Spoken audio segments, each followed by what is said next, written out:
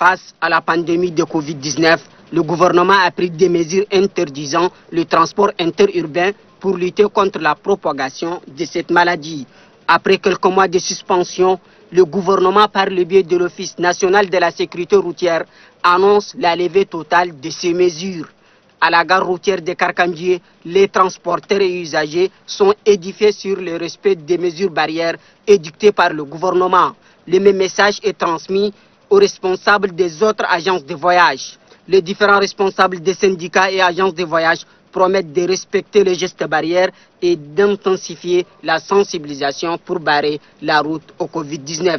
Le directeur général de l'Office national de sécurité routière dévoile les grands axes de la campagne. En tant que structure déjà qui s'occupe euh, de la sécurité de, transport et l'organisation également de l'activité de transport, parce que le transport c'est la réglementation sur les textes et c'est pour ça qu'on est là, on est en train de vulgariser les textes, il y a pas mal de textes qui ont été pris il y a vraiment un laisser-aller au niveau de ces centres d'échange routier. C'est comme ça on a promis. On reviendra la prochaine fois pour pouvoir. Et cette euh, solution que nous avons trouvée, nous l'avons fait en commun accord avec les représentants.